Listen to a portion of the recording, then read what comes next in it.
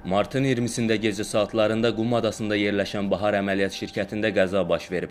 Əməliyyat şirkətinin 409-cu özülündə işləyən fəhlələr hündürlükdən yıxılıblar. Hadisə barədə Meydan TV-yə şirkətin əməkdaşları məlumat veriblər. Məlumata görə qaynaqçı Bakı şəhər sakini 1973-cü il təvəllüdlü Ayaz Məmmədoğlu Məmmədov özüldə açılmış dəlikdən dənizə yıxılıb. Bu zaman aldığı xəsarətlərdən dünyasını dəyişib. Daha bir nəfər nevroloji travma alıb, iki nəfər isə müxtəlif xəsarətlərlə klinikaya yerləşdirilib. Yaralananlardan biri 1977-ci il təvəllüdlü Faiq Vəloğlu Həsənovdur. Onun burun və qolunun qırıldığı bildirilir.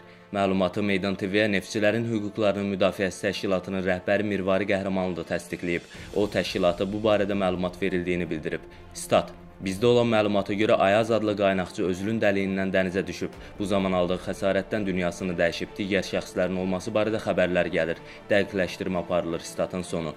Bayram günləri olduğundan Bahar Əməliyyat şirkəti ilə əlaqə saxlamaq mümkün olmayıb. Şirkət əməkdaşlarının bayram günlərində işləməsinə gəlincə Mirvari Qəhrəmanlı bunu hüquq pozuntusu kimi dəyərləndirir. Mənim bildiyim qədər Qumadan işçiləri deyillər.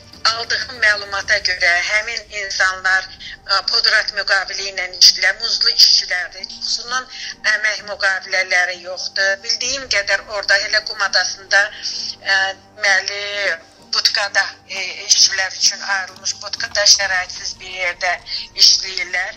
Orada çox dəhşətlidir. İş şəraiti də, işçilərin çoxsunun əmək müqaviləsi yoxdur. Bayram günü işləməməli idi. Əgər işləyirlərsə, işçinin öz razılığı ilə, həmkarlar təşkilatının razılığı, özlərinin yazılı razılığı əsasında 2 qat ödəniş olmalıdır. Və bu işçiləri bayram günü işlətmək bir növ cinayətdir məsuliyyətə cəlb olunmalıdır. İnsanlar üçün normal iş şəraiti yaradılmayıb. Kökündə korrupsiya durur. Nəyə görə deyirəm korrupsiya? Estakadalar uçur, onlara ayrılan vəsait hara xərclənib, onun ə, informasiyası yoxdur. Deməli, plaşatkalar dənizin dibinə gedir. Niyə gedir? Onların yoxlayan varmı ki, bunlara dekretlə ad verilmiş? İşçilər üçün sağlam iş şəraitinin yaradılmamasıdır.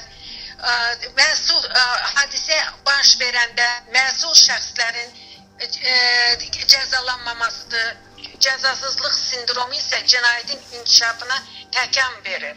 2006-dan bəri bir kəs işdən çıxarılıbmı? Bir kəs cəzalanıbmı? Qohum əqraba şəbəkəsi hansı ki Azneft İstehsalat Birliyində qohum əqraba şəbəkəsinin biri də olsa aşağı vəsiyyəyə keçirilibmi?